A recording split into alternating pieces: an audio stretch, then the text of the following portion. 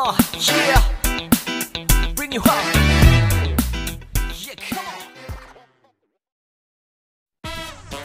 guys, kembali lagi di channel Kabar Hamster.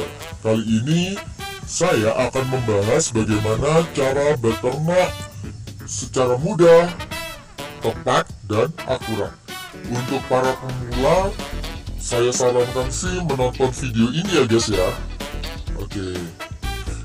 Saya akan membagikan tips dan trik bagaimana cara eh, beternak hamster secara cepat, mudah, dan akurat.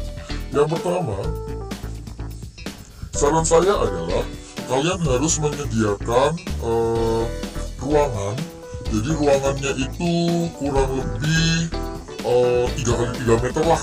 Itu minimal sih kalau menurut saya. Kemudian kalian juga harus mempersiapkan eh, tempat-tempat yang digunakan untuk para hamster itu kawin.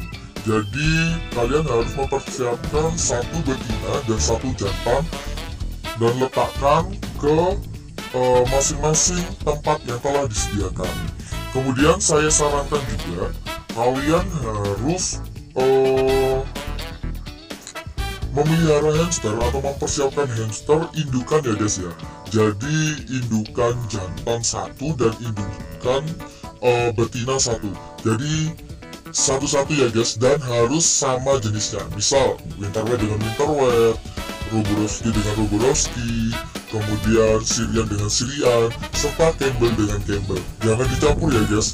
Kalau dicampur maka akan bertengkar dan bisa-bisa sih eh, hamster itu akan stres dan kemudian akan mati.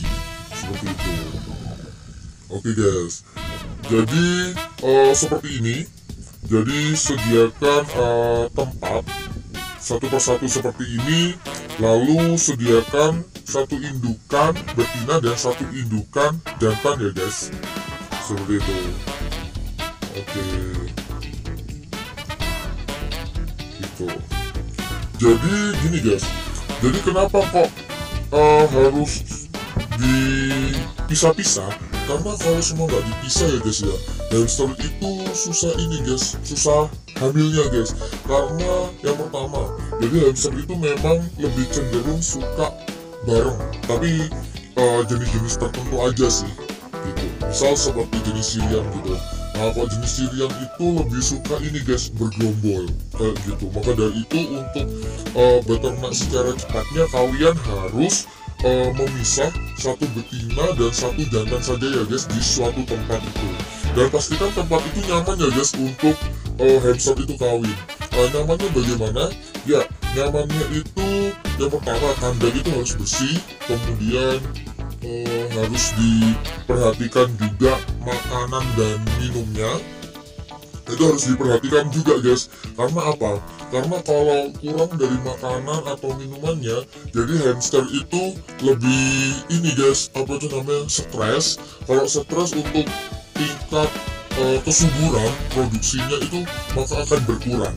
Kayak gitu. Lah ini adalah hasil-hasil dari eh, hasil dari eh, ini guys. Beternak beternak hamster itu.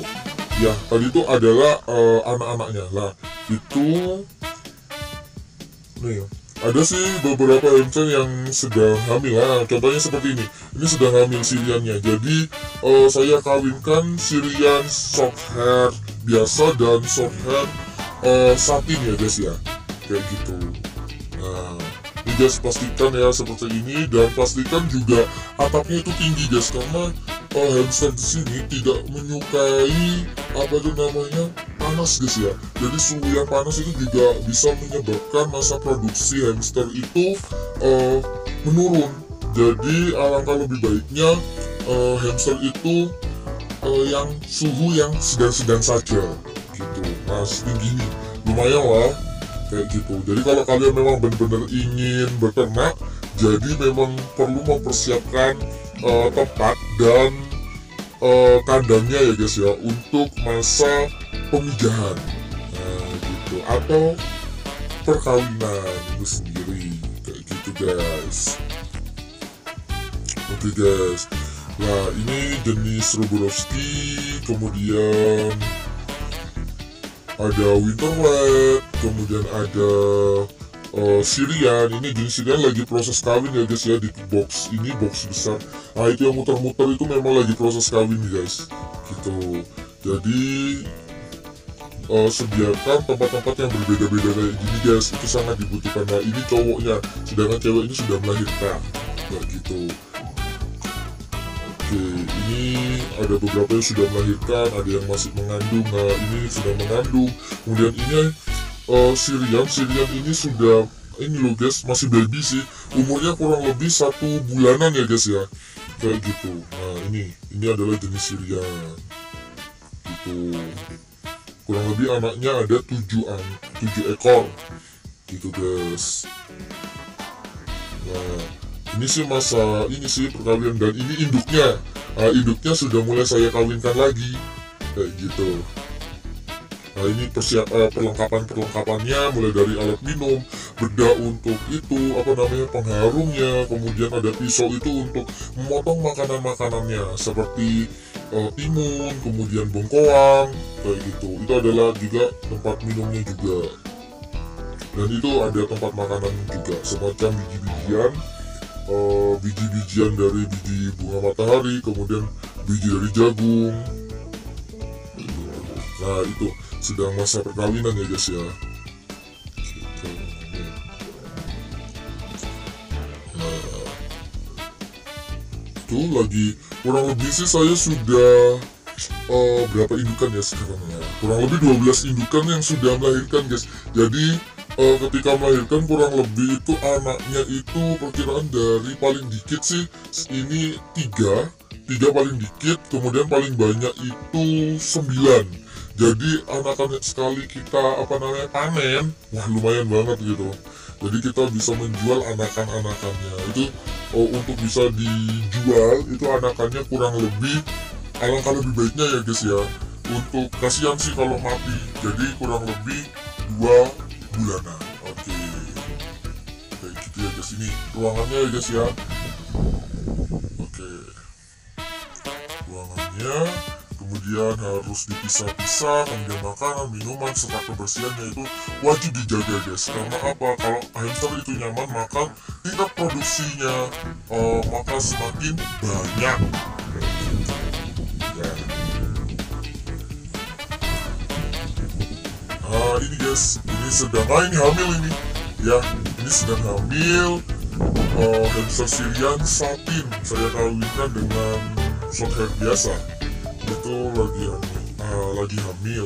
Memang saya masih satukan sih guys. Karena saya kebetulan kekurangan tempat. Dan mungkin saya akan mencari besok. Gitu. Sebelum melahirkan saya memang harus memisahkan hamster uh, Syrian yang sedang hamil dengan pejantannya itu wajib dipisah ya guys. Karena kalau nggak dipisah pasti akan menyebabkan anakan hamster itu akan di ini dimakan. Kayak gitu. Jadi pastikan harap dipisah. Gitu. Ini masa perkawinan. Nah ini anakannya nih ini dari Campbell. Jadi ini anakan sebenarnya sih ada lima guys. Tinggal satu. Nggak tahu kalau Campbell itu memang anakannya itu suka dimakan gitu. Saya juga masih mengobservasi sih bagaimana sih caranya biar uh, gak dimakan anak Campbell kayak gitu. Ya ini Winterlet ah ini sedang hamil ya guys ya. Jadi kurang lebih sih uh, akan melahirkan 4 hari lagi. Ya dan perutnya gede banget. Pasti anaknya banyak gitu. Nah itu Syrian anaknya tiga ini Campbell Satin kemudian Intel Syrian ini masa pe- pengawinan. Gitu.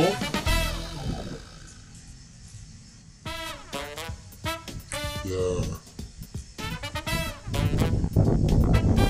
Jadi sekali lagi kalian kalau berternak alangkah lebih baiknya mempersiapkan kandang kemudian ini guys juga jangan lupa kalian juga harus uh, memelihara itu ja- kurang lebih kalau memang kalian berniat untuk beternak ya itu kurang lebih harus 20 pasang. Itu kurang lebih itu paling minimal sih sedikit tuh kalau 20 pasang. Jadi alangkah baiknya minimal 20 pasang sampai lebih. Gitu ya guys ya. Oke terima kasih